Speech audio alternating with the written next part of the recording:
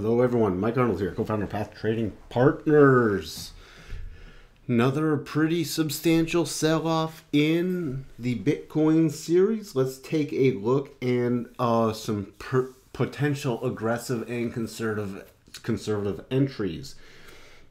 So, kept selling off. How do we come with our next levels down?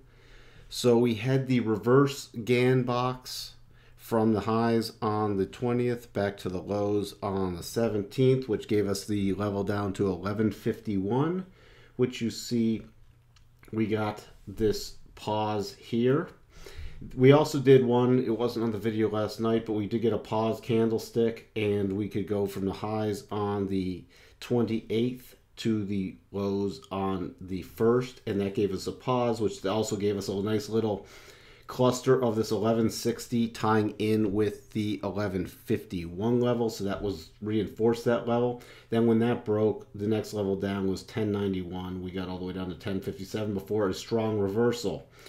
Now this is a nice railroad track pattern.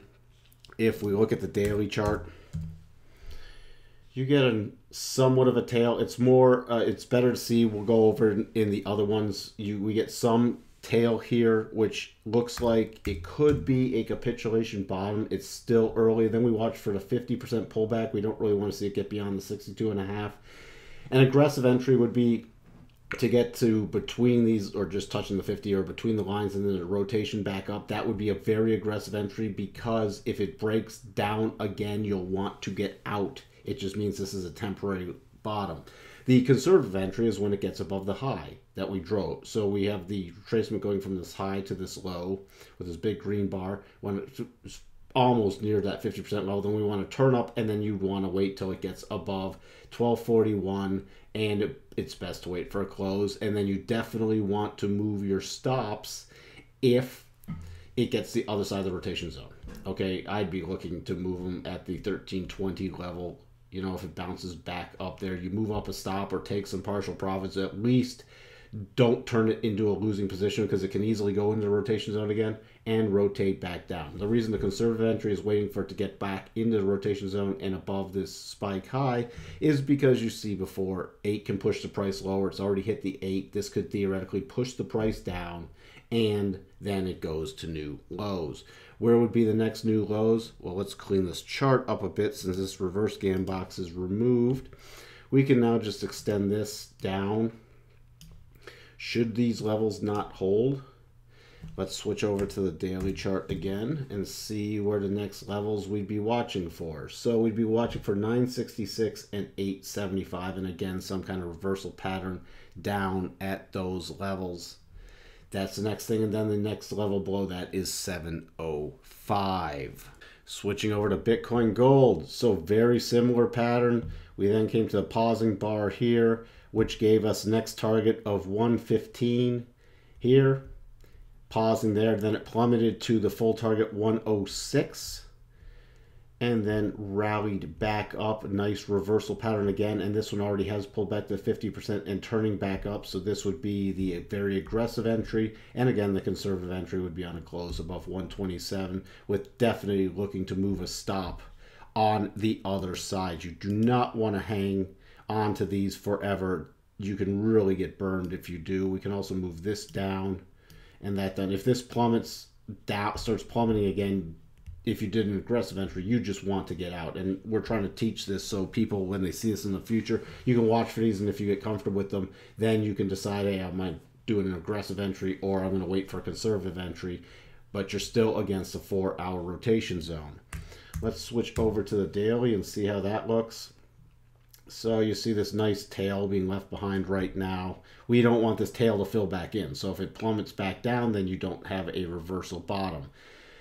If we do head down again, what levels are we watching for? Let's see. We have a 96, 46, 93. So 93 to 96 would be the next area we'd be watching for a reversal pattern. Then all the way down to 81. And if that broke, 62. Keep in mind, even if we do rally on all these Bitcoin series, we have the daily rotation zone against it. So you again, you're going to want to keep moving up stops as it rallies up to prevent it from rallying back in the rotation zone and then turning back down and going to new lows without having you done anything.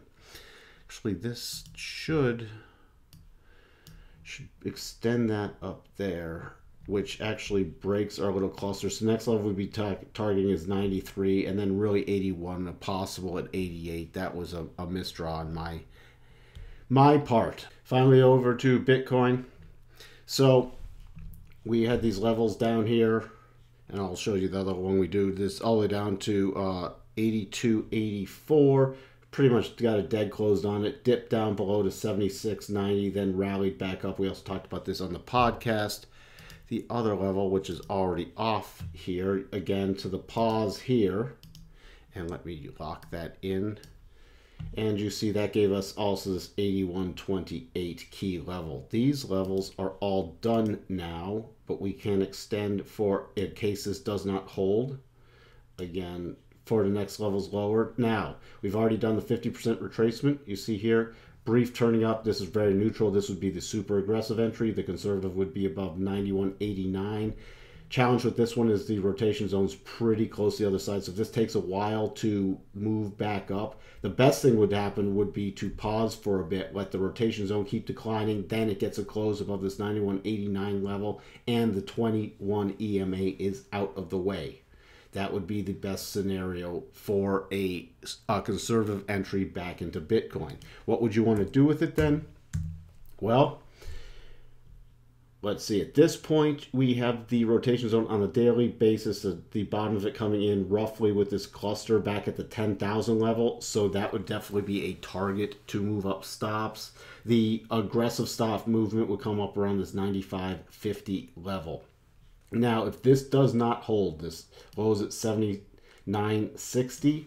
Look at this is really nice. Again, we have a cluster 74.31 to 75.21. That's going to be a key cluster. It looks like this 200 uh, day simple is going to just keep rising to really match up with this 7960 so we won't really use that with, as a target. Then if that doesn't hold 6902 and on a next major level down would be the 75% retracement level from this huge move which would take it to 5047 keep in mind this can easily still rally back in the rotation zone on the daily then turn lower. We don't know a bottom's in. You never know a bottom's in for sure until you start making higher swing lows and higher swing highs, which is going to take some time. So if you're taking an aggressive or conservative entry, that's why you you take them, you manage them, you move up your stops, or you take some profits off as it approaches the daily rotation zone, especially as it enters it.